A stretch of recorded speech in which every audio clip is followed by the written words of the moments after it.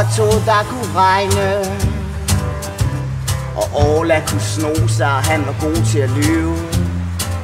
Det gjorde han så også på Ottos vegne. Med hovedet i begge ender for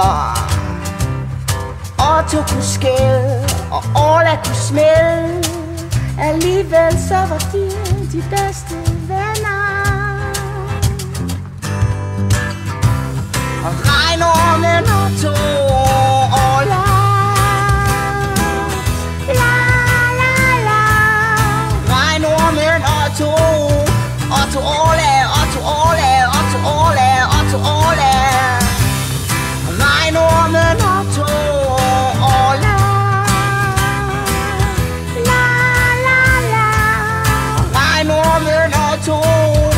Otto Ole, Otto Ole, Otto Ole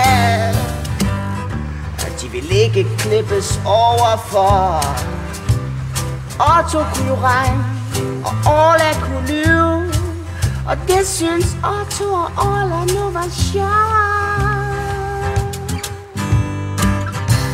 Og regnormen Otto.